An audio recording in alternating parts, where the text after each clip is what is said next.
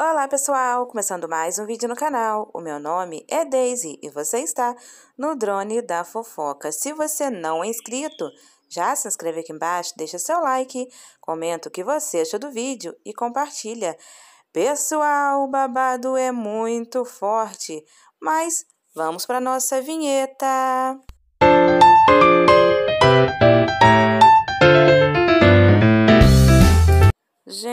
A mulher deixou uma caixinha de perguntas no Instagram e teve perguntas variadas, gente. Por que, que ela perdeu a humildade? Até sexualidade. Pois é.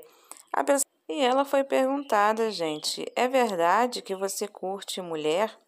E ela respondeu: nós mulheres somos for demais, mas para relacionamento o povo já me descobriu e eu não. KKKK. Até hoje, na presente hora, eu ainda não me descobri sob aceitação. Eu prefiro ser feliz. Então, até hoje, sou hétero. Então tá aí, gente, a resposta de hoje, menina. Eu fiquei um pouco na dúvida aí. Eu não senti tanta firmeza ela dizer que é hétero, não. Mas é aquilo, né? Cada um sabe o que gosta, o que quer, na verdade, o que é bom para as suas vidas.